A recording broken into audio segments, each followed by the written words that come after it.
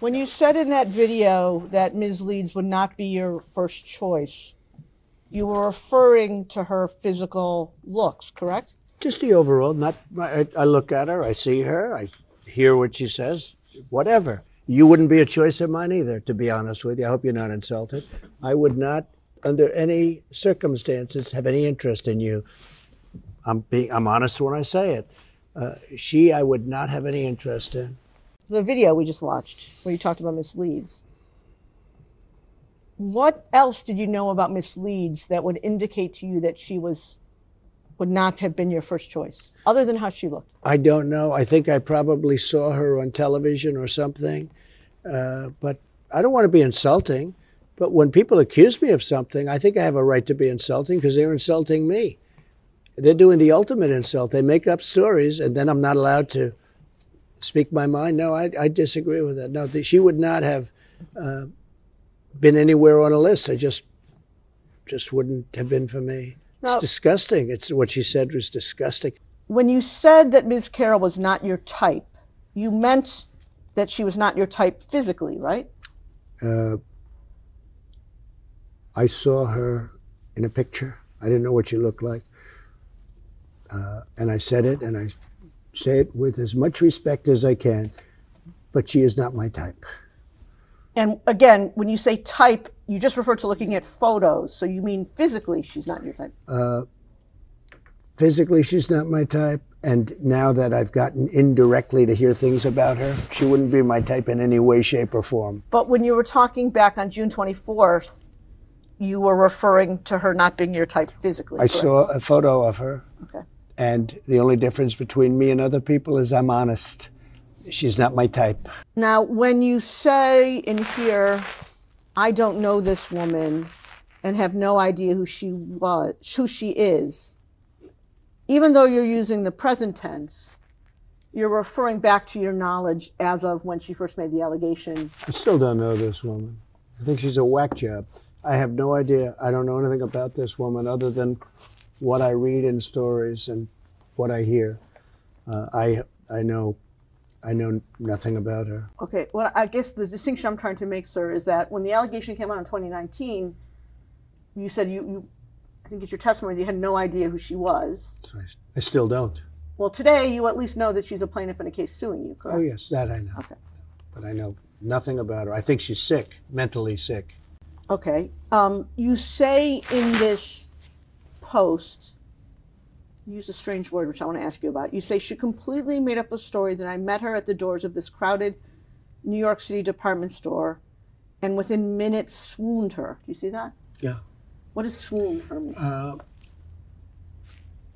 that would be a word, maybe accurate or not, having to do with uh, talking to her and talking to her to do an act that she said happened, which didn't happen. And it's a nicer word than the word that starts with an F. And this would be a word that I used because I thought it would be inappropriate to use the other word. Um, and it didn't happen. Okay, I, I was curious when I read this, so I looked up the word swoon in the dictionary. And under the dictionary, it means to faint with extreme emotion. That's not what you meant here. Objection to form. Uh, well, sort of. That's what she said I did to her. She fainted with great emotion. She actually indicated that she loved it. Okay, she loved it until commercial break. In fact, I think she said it was sexy, didn't she? It was very sexy to be raped.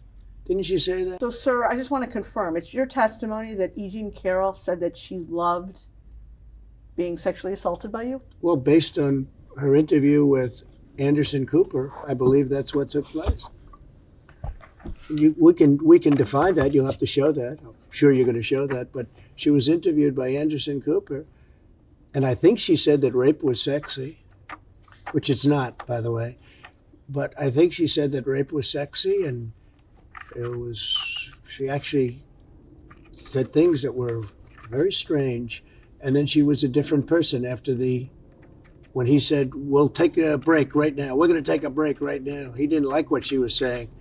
He was very upset with what. And then she came back and she was a much different woman the second in the second half, so to speak.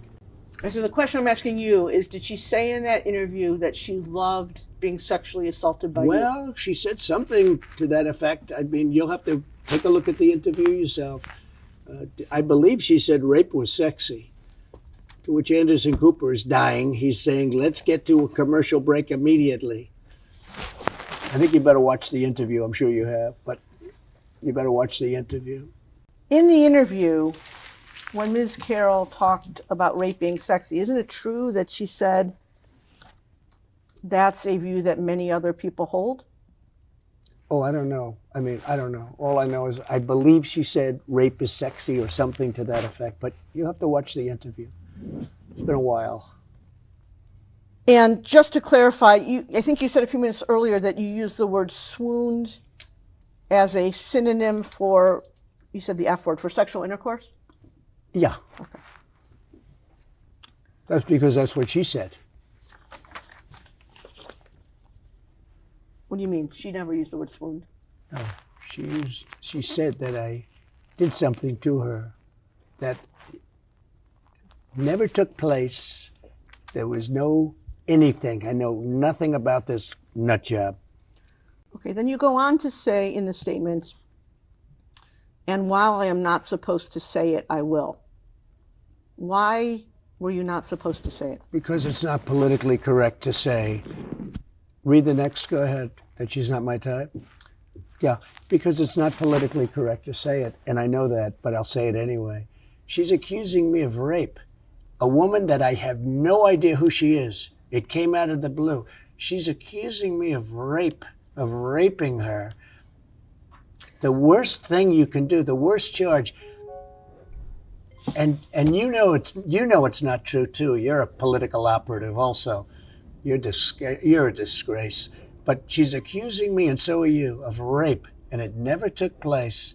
And I will tell you, I made that statement, and I said, well, it's politically incorrect. She's not my type, and that's hundred percent true. She's not my type. In your Truth Social statement on October 12, um, you use the word hoax. Specifically, you say it is a hoax and a lie, just like all the other hoaxes that have been played on me for the past seven years. Do you see that? Yeah. recall making that statement. Um, and I take it what you're saying there is um, Ms. Carroll fabricated um, her claim that you sexually assaulted her, correct? Yes, totally, Now- hundred percent. Fair to say, you'd agree with me, would you not, that you use the term hoax quite a lot? Yes, I do. Um, CNN reported that you used it more than 250 times in 2020. Does that sound right? to Could be. I've had a lot of hoaxes played on me. This Um, is one of them. And how, how would you define the word hoax? A fake story, a false story, a made-up story, Something that's not true. something that's not true. Yes. Um, sitting here today, can you recall what else you have referred to as a hoax? Sure. The Russia, Russia, Russia hoax. It's been proven to be a hoax. Uh, Ukraine, Ukraine, Ukraine hoax. The uh, Mueller situation for two and a half years hoax. Ended in no collusion. It was a whole big hoax. Uh, the lying to the FISA court hoax. The lying to Congress many times hoax by all these people, this, this scum that we have in our country lying to Congress, hoax. The spying on my campaign, hoax. They spied on my campaign and now they admit it. Uh, that was another hoax. And I could get a whole list of them. And this is a hoax too. This, when you say this and that, This, this ridiculous situation that we're doing right now. It's a big fat hoax. She's a liar and she's a sick person, in my opinion. Really sick.